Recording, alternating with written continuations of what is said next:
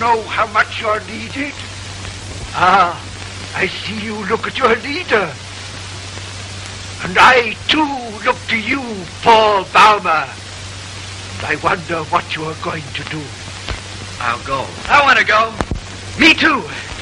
I don't see that. The Kaiser's got everything he needs. Well, they never had a war before.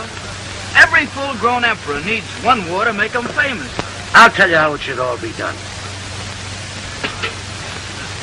Whenever there's a big war coming on, you should rope off a big field And sell tickets. Yeah.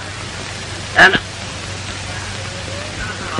and on the big day, you should take all the kings and their cabinets and their generals, put them in the center dressed in their underpants and let them fight it out with clubs.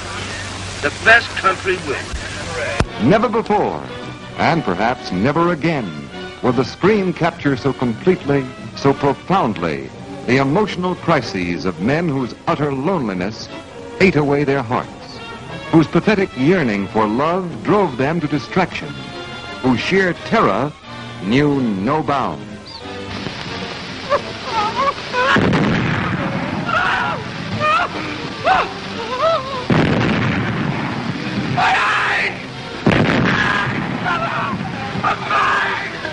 This is the immortal screen achievement, which has become more dramatic, more vital with every passing year. See it. See it again.